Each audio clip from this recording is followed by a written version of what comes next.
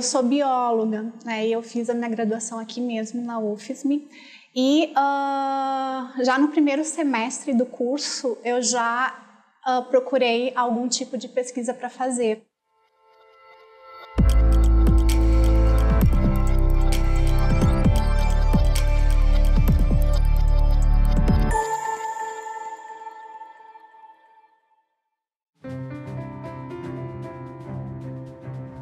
Foi aqui no departamento de bioquímica que eu comecei a trabalhar sobre a orientação do professor João Batista já no primeiro semestre, no primeiro dia de aula.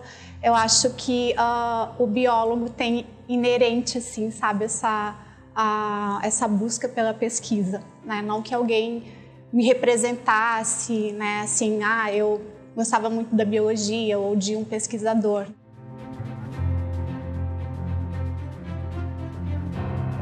Eu sigo a, a, linha que eu investiguei no meu doutorado, né? Que eu trabalhei com modelos experimentais de diabetes e, e carcinogênese e agora a gente trabalha mais tanto meus alunos como a minha pesquisa, né? Desde que eu entrei como docente pesquisadora do CNPq com modelos experimentais de diabetes mellitus. Então, uh, os mestrandos e os uh, doutorandos, né, que estão sob a minha supervisão, também trabalham com essa linha.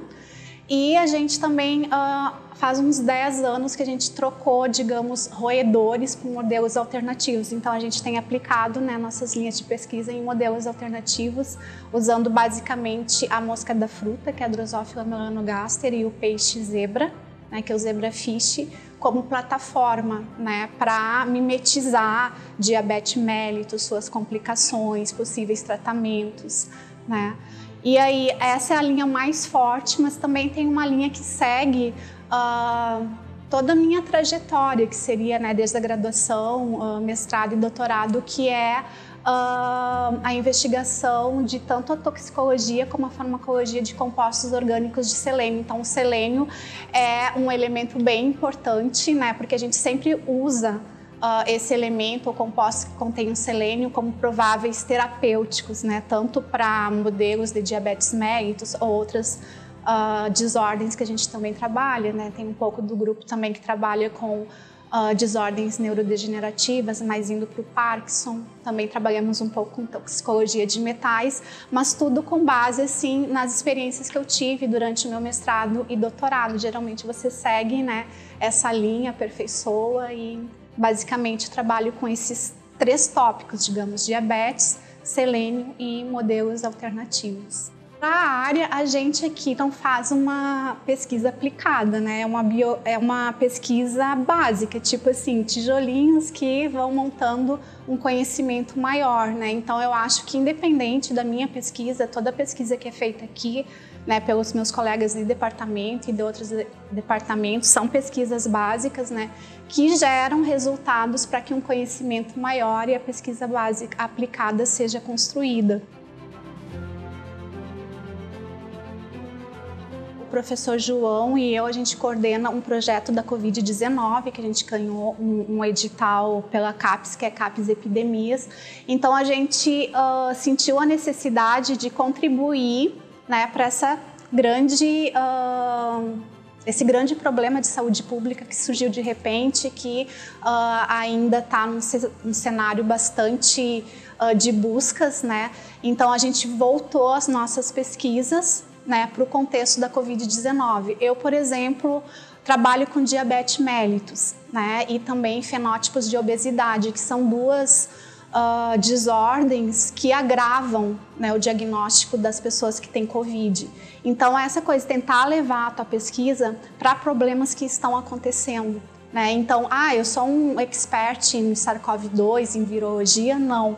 Mas tu conseguir levar o que tu faz aqui, né, de uma certa forma, para um problema né, mundial, um problema regional, né, até mesmo nacional. Então, Uh, isso é o que move a contribuição que tu pode fazer para problemas emergentes, por exemplo, que ocorreram, que nem aconteceu essa pandemia e que talvez né, muitas outras aconteçam, é tentar colocar né, o teu trabalho em prol né, de uma uh, de um efeito maior, assim, que seja né, uh, recompensador para todo mundo.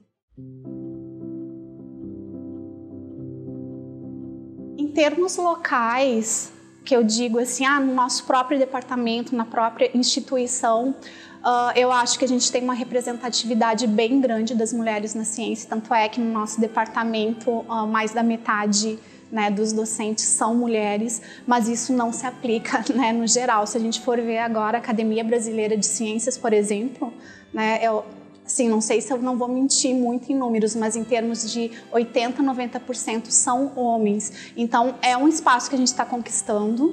Eu acho que tem muita coisa ainda para se conquistar, mas as mulheres aos poucos, né, elas estão ganhando vários espaços em várias áreas e na na bioquímica, né, e mais nessa parte uh, da, da biologia, da farmacologia, da toxicologia, que também, assim, é bem difícil de entrar e de concorrer editais, de entrar, por exemplo, uh, para a Academia Brasileira de Ciências. A gente está vendo na última década né, um aumento bem significativo das mulheres na ciência, uh, até mesmo nos próprios laboratórios. Né? Então, assim, os alunos que fazem parte hoje do meu grupo, né? A maioria é mulher, né? Coisa que há, há uma década atrás não era.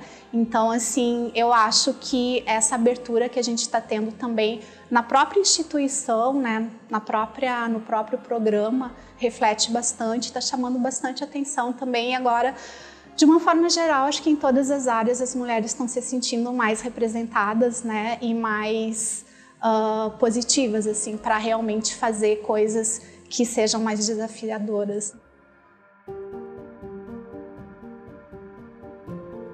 Mas nesses últimos quatro anos a gente enfrentou, digamos assim, todo mundo que faz ciência, independente de ser homem ou mulher, uh, um descaso pela ciência, né?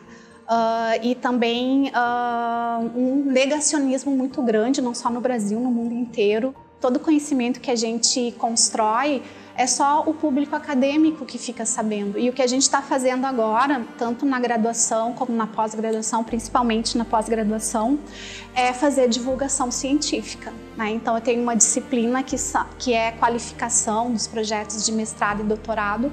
Então, a, a, o que, que eu pedi para os alunos? Eles têm que construir um vídeo de divulgação científica numa linguagem bem simples, né, para que qualquer pessoa leiga entenda e a gente está divulgando em canais, no Instagram. E eu acho que né, isso é claro que é um trabalho ainda pequeno, mas que está evoluindo. Eu acho que fazer a divulgação científica, né, divulgar o que a gente faz, vai fazer com que o pensamento de muita gente que está né, um pouco alienado com relação à ciência, né, entenda melhor e talvez apoie mais os cientistas. Eu queria muito que meu trabalho atingisse a comunidade, né? E uh, o que eu tentei fazer e que eu fiz desde ser né, de uh, mestranda, doutoranda e, e, como docente é trabalhar numa linha alternativa. Né? Então, uh, eu trabalho com divulgação científica, né? E desde isso já faz 20 e poucos anos, a gente faz parte, eu e mais o professor João Batista, que foi meu orientador, da rede Leopoldo Demeis, que é uma rede que foi, começou no Rio de Janeiro, né, com o objetivo de uh, levar para fora da universidade a ciência que a gente faz e, ao mesmo tempo, aproximar né? Uh, uh, alunos que não têm condições, por exemplo, de entrar na universidade, alunos e professores da ciência. Então, o que, que a gente, que a rede faz e que a gente começou e segue fazendo até agora e vou fazer até me aposentar. Então, a gente uh, vai para as escolas, né? vai para as escolas preferencialmente de baixa IDEB, né? E faz cursos de experimentação, cursos de ciências totalmente práticos, com um objetivo, dois objetivos principais: fazer divulgação científica, mas também melhorar o ensino de ciências. E com isso, uh, digamos que esse esse anseio que eu tinha, né? Eu cheguei mais perto da comunidade, consegui ver o meu trabalho, né, uh, refletido na comunidade, consegui ver uma contribuição maior. Então a gente traz alunos, né, para a universidade, eles fazem os cursos. Por exemplo, eu tenho um exemplo muito interessante. Uh, eu tenho dois PNPDs que fizeram o curso de férias comigo numa escola bem, né, aqui no, uh, na periferia de Santa Maria. Uh, entraram na graduação, entraram no mestrado, fizeram um doutorado comigo, agora são pós-doc, né, que a gente selecionava como jovens talentos. Então essa, isso para mim foi muito gratificante. É claro que a pesquisa básica, né, que a gente faz na parte acadêmica é muito importante, mas esse trabalho me levou mais perto da comunidade. Eu sinto que a gente ajuda mais a comunidade.